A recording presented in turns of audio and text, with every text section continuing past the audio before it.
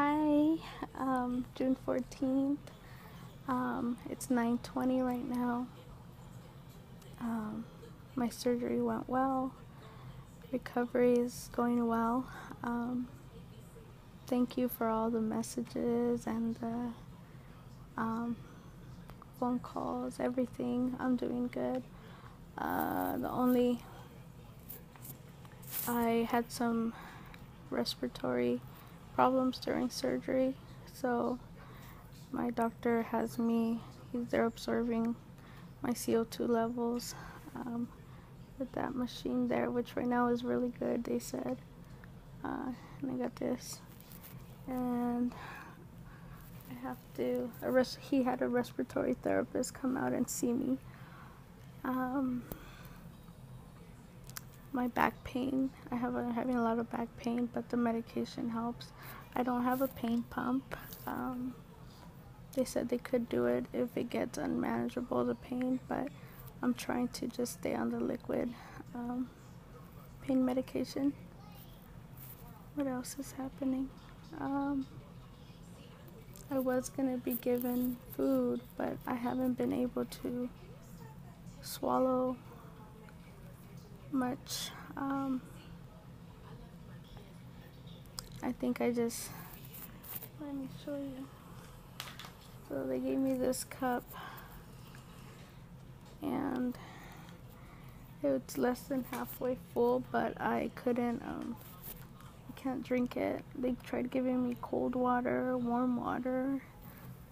Cold water, my stomach does not like. It starts um, bubbling um, but I can drink like room temperature water and warm water. So that's good. Um, yeah, the doctor surgeon had originally said I couldn't stop start my soft, no, my whole liquid. So they had ordered a plate for me, but because of that, they canceled it and um, they added an extra day for me to stay at the hospital. So today, um, my goal was to urinate and to walk around the nurse's station at least three times, which I did. Um, I had a couple visitors. My one of my good friends actually came and she stayed with me all day. She was here before I even got out of uh, recovery. Um, it just means so much for me for her to be here. She was able to message my mom and throughout the day and let her know, giving her updates of how I was doing.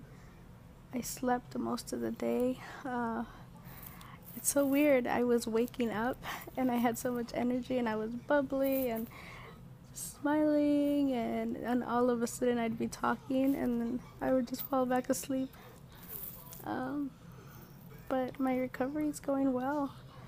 My incisions, let me try to show you they look amazing. I was uh, telling my friend that I was admiring my surgeon's work because they look really good. Let me see. Uh, if things gross you out, maybe you want to skip, but you don't really. They're not bad. So let's see. That. This one up here. This one's the biggest one. Um, my belly button. So, um, they're they're they're they're really clean and haven't had any problems. I mostly just have um, gas pains. They wouldn't let me take the Gas-X. Um, one thing I would recommend that people I wish I would have brought was um, well, they took care of it here, but a heat, heating pad. But I wish I would have um, bought one for home because I don't have one, and all I keep thinking about is heating pads are what are keeping me happy right now, and I don't have any, so I might um, call my mom uh, my mom and my brother are gonna be here on Sunday for the day. So I might call them and ask them to buy me some heating pads because They are the only thing that make me feel really good right now. I still have a little cough, so when I cough, they have me put pressure on my stomach where the heating pads are so that it doesn't, um, my stomach doesn't move or contract too much. My robe, best thing ever because these robes here don't cover my big booty. Um, my therapist was here today and we had a good conversation. She walked around with me one of the laps and um, I guess I had posted a, a video that I meant to be happy in, letting you know that surgery was over, but I actually started crying and I was like out of control. So I deleted it because I think people were concerned, but uh, I don't remember. I, I I came out and I was happy, and then um, then all of a sudden I just started crying. I think I was crying because I was happy, and also because I was just like I was missing like that mama's touch, you know. Um, that was part of what I had worked on with my therapist yesterday. That I keep saying I'm lonely. Clearly, I'm not alone. I have my friends. I have all of you that call, text me. I have my mom, my brother, my sister, everybody um, that have checked in with me.